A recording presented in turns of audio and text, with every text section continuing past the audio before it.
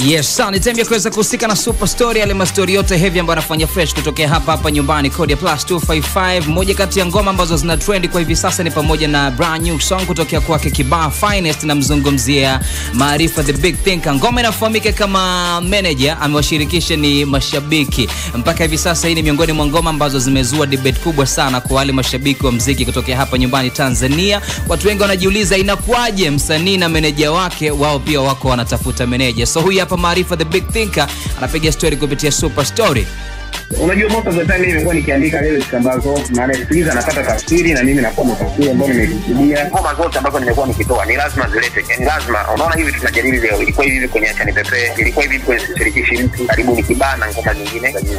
Uh, inakuwa ni noma kama vile askari wanatafuta mateja. Unajua askari wakidondoka sehemu mm. kama kuna mateja waka. Sasa mimi na meneja yangu tunatafuta meneja, ni kwamba mimi meneja ambaye ananisimamia ni mtu ambaye anafanya mziki pia, kwa maana katika engo nyingine ni mshindani wangu, unajua sababu doing the same business. Yeye anafanya mziki na ni hapa pia kama mimi. Uh, na kitu kingine ni kwamba yuko act, kwa maana anatoa mziki, anafanya hiki na kile.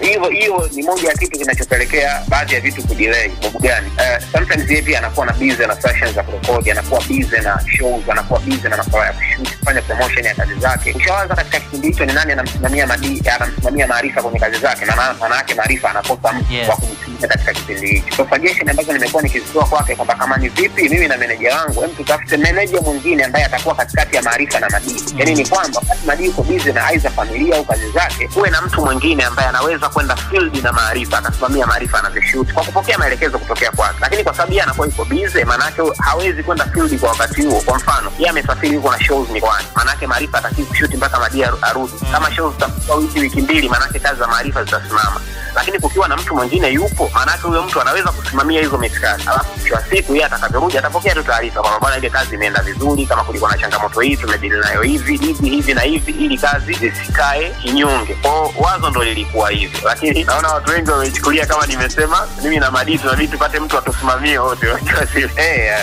Yeah, anaitwa Maarifa the Big Thinker akizungumza kuhusiana na brand new song kutokea kwake. Goma linafahamika kama Manage. Of course tutasikiliza, I mean tutaisikiliza hapa kwa mara ya kwanza kupitia hashtag. So moja kati ya vitu pia ambavyo ni vikubwa sana ni pamoja na mapokezi ya hii hapa ngoma ambayo imepelekea kuweza kuingia kwenye trending kwa muda mfupi tu since iweze kutoka, lakini eh, kitu ambacho kimemfanya Maarifa the Big Thinker aweze kuchapisha bana kupitia mtandao wake wa kijamii na kudai kwamba yeye sio tu msanii bali ni mtu wa watu so